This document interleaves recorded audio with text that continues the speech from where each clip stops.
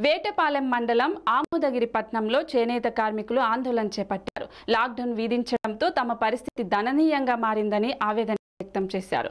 ప్రభుత్వం ఎన్హెచ్డిసి ద్వారా చేనేత కార్మికులకు పని కల్పించాలని నెలకు మూడు వేల రూపాయల చొప్పున ఆరు నెలల పాటు పెన్షన్ అందజేయాలని కార్మికులు డిమాండ్ చేశారు. ఈ కార్యక్రమంలో రాష్ట్ర చేనేత జనసమైక్య అధ్యక్షుడు వీర నాగేశ్వరరావు హనుమంతరావు తదితరులు పాల్గొన్నారు.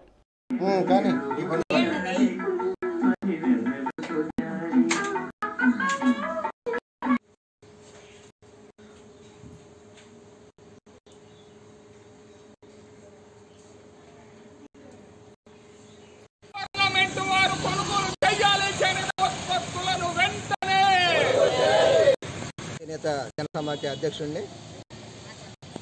మా చేనేత కార్మికులు అందరికీ ఇక్కడ ఐదు నెలల నుంచి వాస్తవంగా పని లేదు ఇక్కడ. మరి ఇతర ఉత్పత్తులు ప్రభుత్వం కొనుగోలు చేస్తుంది కానీ మా చేనేతకు సంబంధించిన వస్త్ర నిల్వలన్నీ కూడా ప్రభుత్వం కొనుగోలు చేయట్లేదు. చాలా ఇబ్బందిగా ఉంది. ప్రభుత్వం ఈ చేనేత నిల్వ అన్నింటినీ కూడా రాష్ట్ర వ్యాప్తంగా ప్రభుత్వం కొనుగోలు చేసి మా అందరికీ పని కల్పించాలి. దేశంలో వ్యవసాయం తర్వాత రెండు పరిశ్రమ అయినటువంటి పెద్ద పరిశ్రమ చేనేత పరిశ్రమ. ఈ పరిశ్రమలందరూ కూడా కొనుగోలు చేసి వస్త్ర నిల్వలు అన్నీ కూడా ప్రభుత్వం కాపాడాల్సిందిగా మేము ప్రభుత్వానికి విజ్ఞప్తి చేస్తున్నాం.